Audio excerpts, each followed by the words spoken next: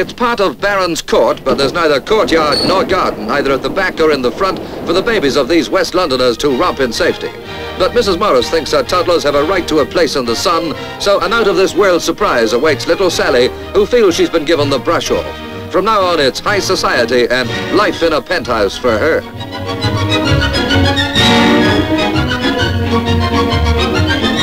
Baby, it's cold outside. Brother Paul is in on the secret, but poor puzzled Sally, little does she know how people are going to look up to her. Actually, Sally's not surprised. She knew about it all the time. Well, a girl can read between the lines of wire. After all, the whole thing stands out as a stand-in for a garden, so she's getting down to it. Two-year-old Paul's really above the age limit for this kind of cagey caper. Still, Sally gets a kick out of life when he's around.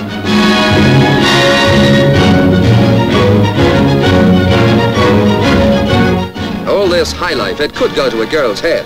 It's Daddy. Yes, they respect him, even if they do sometimes look down on him.